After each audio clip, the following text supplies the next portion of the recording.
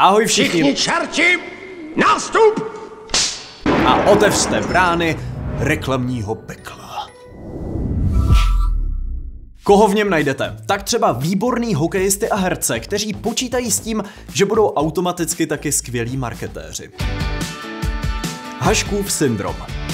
Dominik Hašek se rozhodl dělat marketing své značce Smarty úplně sám. Dobrý den. Během minulého roku se nám podařilo vyvinout nový nápoj Smarty. Jeho celé jméno je Smarty myslivecký a rybářský. Geniální spot. Pro někoho s akutní insomní, co potřebuje okamžitě usnout, vizuál inspirovaný al qaidou tenhle ten marketingový terorismus Hašan přenesl i do terénu. A jeho prodej plánujeme od začátku příštího roku. Tento nový nápoj, který má dvě rozdílné příchuti, A nakonec došlo i na reklamní atomovku. Můra sem, můra tam. No, to už nemůže být horší, co? Ale může. Vítejte u pekelné Smartyho snídaně přímo z Haškovy kuchyně. Jelibo veselou kašičku, vězeňskou šmakuládu, klobásového škorpiona, šunkové větrníčky, párkovejce s horčičním bobečkem, noční moru výživového poradce nebo nekrolog místo prostírání. A fuj.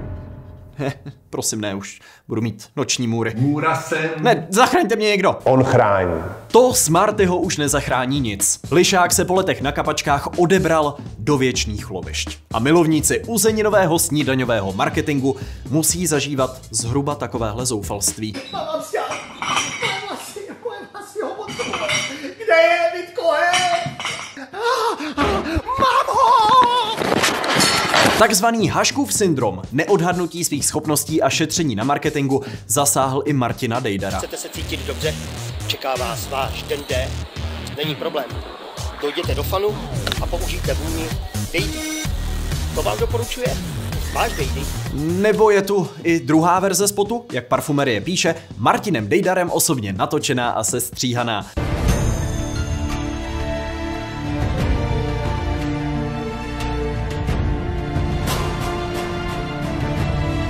Je to ostatně i jemně decentně naznačeno v titulcích. Dejdy, Dejdy, hrají Dejdy, Martin Dejdar, střih Dejdy, výprava Dejdy, kamera Dejdy, casting Dejdy, hudba iTunes, kostýmy Dejdy, produkce Dejdy, scénář Dejdy, režie Dejdy. Tenhle zákeřný syndrom neminul ani kladno. Jarda Jágr propagující svůj brand v možná nejsmutnějším videu, které dneska uvidíte. Chceš rychle snout? Dobře se vyspat? Vyzkoušej to. 24-5. Stačí tolik. Garantuju ti, že to funguje. Legenda praví, že po vypnutí kamery se Jaromír rozplakal. Takhle, všichni po dnešku víme, že pokud je cílem, Dobře se vyspat? pustíš si prostě reklamní spot Dominátora. Nápoj není určen pouze pro rybáře, myslivce a jim blízké včelaře. Avšak pro všechny, kdo milují přírodu. Což, jak vidíte, je zde uvedeno i na etiketě. Ano, Pardon. A nechápejte mě špatně, Jágr i Hašan byli moji idolové, když jsem jako malý hrál hokej. Dejdarův Bart nebo Maděra ve zdivočelý zemi, to jsou skvělý výkony. A o to víc člověka bolí tohleto sledovat. Prostě šetřit na marketingu, nenechat si poradit někým, kdo ví, co dělá, to dopadá špatně. Lidi ti raději a někdy nevíš, jestli to funguje nebo to nefunguje, zkoušíš to. Ano, Jardo, je důležitý nechat si poradit profíkama, kteří ti třeba dopředu řeknou, kde na tiskovce stát. A tomu tak došlo. Naštěstí tam byla ještě druhá kamera, Který, který já nejsem typ člověka, který... což který, teda nepomohlo a profíci by určitě taky nabrýfovali tebe i moderátora, aby se nestalo třeba tohle. Tak eh, máš nějaký jeden konkrétní ještě produkt, na který se těšíš a ještě zde není třeba. Nechci přebíhat, počkáme Nechci si, předbíhat. pře- nechci předbíhat. Poučení z téhle kapitoly teda zní jasně. Nežer. Počkat, já chtěl říct nešetři na marketingu a neříkej si, Ušlu do řemesla nejlepším expertům. protože z toho pravděpodobně vznikne jenom fušeřina. Zpívánky.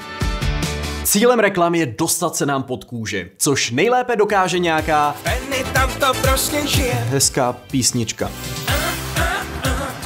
Koukej na ty slevy, O, o, o. to je pohoda. A mám to pod kontrolou. Jdeme, pojďte, pojďte. Ono to pojďte. totiž nebylo poprvé, co Michal David přespíval reklamní slogan. Vytváříme domov, a, a, a. to je Aluko. To už byl snad lepší ten kompot. Lavinu supermarket songů spustila před rokem německá Edeka, na což jsme narazili ve třetím dílu hudebního očistce. Jo, ten koncept, který letos vykradl jedna ku jedný mekáč. Je to fresh, mám to rád. Burger. Song složil kapitán Demo, který později dokázal, že ne každá reklamní písnička musí být pouze pro otrlé. Lidl.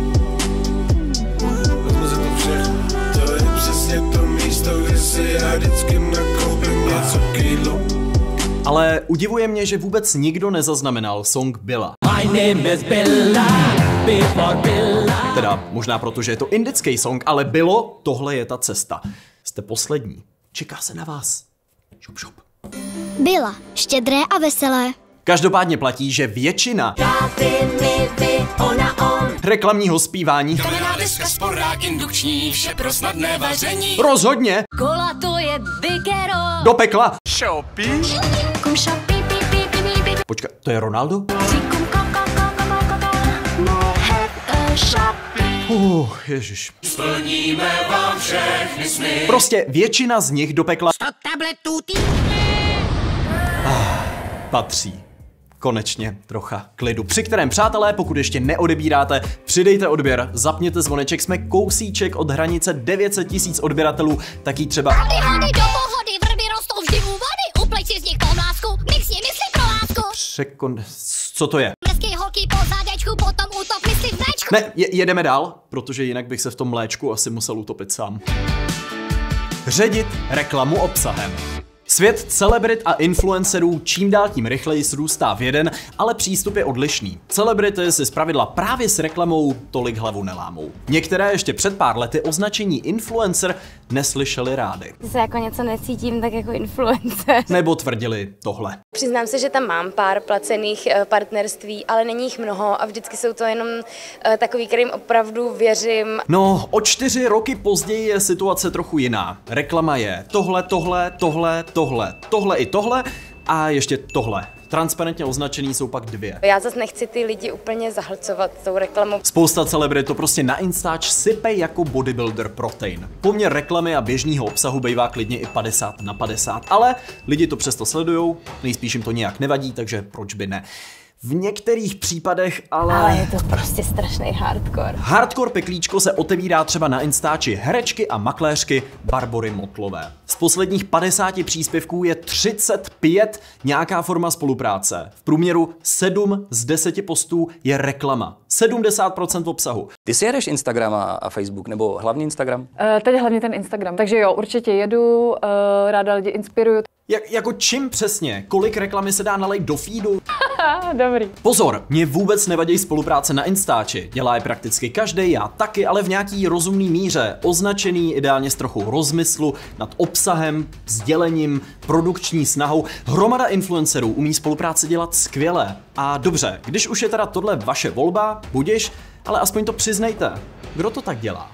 To je Aguš, jo. To je, to je, to je jako bezvadný, jo. Agáta Hanichová aspoň neskrývá, že má Instač hlavně pro zisk. O spolupráce si sama píše a bere skoro cokoliv. Jen za neděli, pondělí a úterý šoupla do stories 8 různých reklam, což je podobná frekvence, s jakou Jaromír Soukup chválí její inteligenci. Ne, vy jste mazaná, jo. Vy jste opravdu mazaná. Vy jste jako chytrá, jste v tomhle fakt jako geniální, jo. Vy jste chytrá jak opice. Jste strašně jako chytrá. Těžko říct, kdo by tuhle tu reklamní olympiádu na sítích vyhrál. Můžete napsat vaše tipy do komentářů na ty, kteří musí hashtag ředit reklamu obsahem, protože já už se díl tímhletím Instagramovým podsvětím probírat nezvládnu. Já asi klidně, já zvládnu všechno. Vizuální smog. Všechny ty pekelné reklamy, které jsme dneska viděli, to jde nějak zvládnout. Stlumíme, odskrolujeme, přeskočíme nebo prostě ignorujeme. Horší ale je, když kolem nějaké šílené reklamy každý den jezdíme nebo chodíme. Nalepí nám ji na sousední dům, plot, autobus, prostě není úniku. A někdy to může být opravdu zážitek. Třeba tyhle krásné, úsporné, decentní a vkusné reklamní cedule nebo minimalistické označení stánku. Říkám si, co v něm asi prodávají. Langoš. Langoš. Správně. Ten si ostatně dáte i v tomhle pekle. 22 cedulí na jeden průchod. Není to málo, Antone Pavloviči? Jinde se neberou v potaz lišty, takže vznikne krásné dvojčátko, nebo se zapomene na zakřivení povrchů, což z mimísků vytvoří deformy mísky. Ah, Věříte na jednorožce? teď už ano. Ve venkovní marketing se dá udělat taky takzvaně na Marii Antoinetu, případně můžete vyzkoušet novou metodu příšerky SRO. Ahoj! Nemůžu tomu uvěřit. Můžete si také vyluštit billboardovou křížovku, případně zjistit, že kulatá hlava čistí nejlépe. Jestli toho kartáčku nebo kulatá hlava paní, to už je otázka. Koule. A poezie není nikdy dost. Ty můžeš v klidu močit a nemovitosti se budou točit. Oh, oh, oh. To je pohoda. Tak to je pohoda. Ne, to, to není pohoda, zachraňte mě. On chrání. Přátelé, proč si to dělám? Proč vám to dělám? To, tohle není to... Co chci, to, tohle už vůbec ne. Já chtěl jen dodat, že aspoň pak hezky vyniknou ty dobrý reklamy. A není jich málo. Ty, co otvírají těžký témata. Dělají ze značek love brandy, jsou nádherně provedený, vtipný, pomáhají potřebným, nebo prostě jen plní to, co mají. Někdy šíří povědomí, jindy prodávají a jindy... To zkouším. Prostě jen reklamy zkouší, na co se chytnem. Cože? No, Cože? Kdo to řekl? Já už radši půjdu. Díky, že jste koukali. Přidejte like, pokud jste se něco nového dozvěděli, pobavili se, nezapomeňte sdílet a doufám, že na otázku, jestli máte u kanálu odběr, po dnešku odpovíte. Mějte se krásně a teď je čas na zasloužený odpočinek. A obsahuje chmelové aroma, které mu dodává lehký nádech a velmi specifickou, nezaměnitelnou chuť. Možná vás také bude zajímat, že nápoj je bez konzervantů. On chrání.